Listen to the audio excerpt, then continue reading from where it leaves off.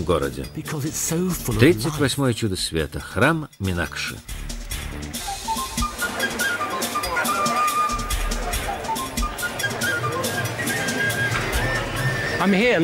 Нужно найти местную ключницу. У нее ключ от главного сокровища, которое нам нужно увидеть.